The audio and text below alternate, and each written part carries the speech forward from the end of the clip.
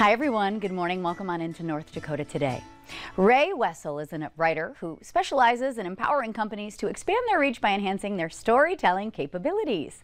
As the founder and leader of the Institute for Thought Leadership, she joins us this morning with more on her mission to equip people with the tools to communicate in a digital age. Good morning. Good morning. I'm so happy to have you join us. Yes, hi. I love the blue. We're very on vibe today.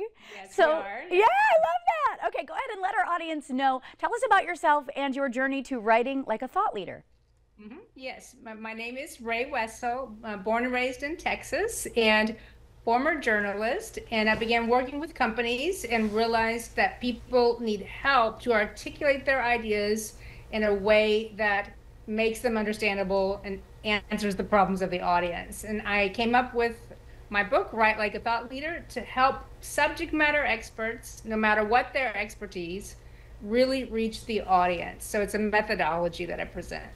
Okay, very interesting. So, what are some of your strategies for storytelling? And I even was reading through a lot of your work. You encourage the use of AI and incorporating that in a digital age. So, we'll kind of get into your ethical thought processes on that. But just in general, what are your strategies for storytelling? The I, I think the um, in the era era or in the when you're working in space of thought leadership, you've got to hook the audience with something that makes their brain go, oh, oh, oh, I can get some help with a problem I have, a pressing problem. So you, you need a beginning hook. And in the end, you're framing the article like a journalist does. Mm. Now, a lot of subject matter experts have an academic background. So they take an academic approach, and that's not what you want. You need a journalistic approach. You need to find that hook and frame it like an like a journalist. That's those are the storytelling um, methodologies that I teach.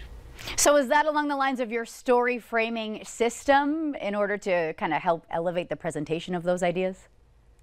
That is right. So the story framing system lines up the problem that the audience has with the expertise that you have as a thought leader, right? So you are serving your audience by giving away your knowledge for free and sharing your best ideas, and you're building a community of people who look to you as the go to expert and you reach that position because you can uh, tell it as a compelling story. You can boil down the complex, and um, yeah.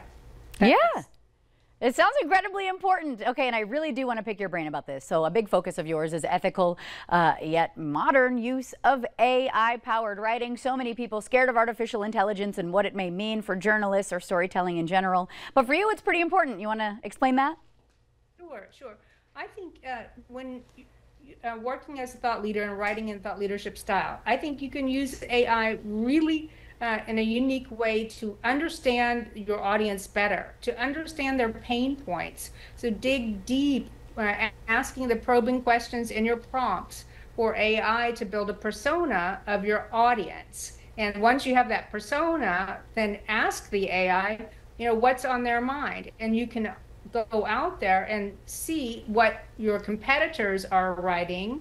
And more importantly, you can use the AI for a gap analysis to see what they're not writing. So mm-hmm. you ask the AI what your audience is missing, mm-hmm. and then you, aha, that's what I need to be writing. So that's a very unique way to use the AI to set up the stories.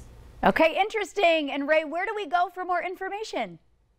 You can go to my website, the Institute for Thought Leadership.com. Check out my book, Write Like a Thought Leader, and message me on LinkedIn. Would love to hear from you.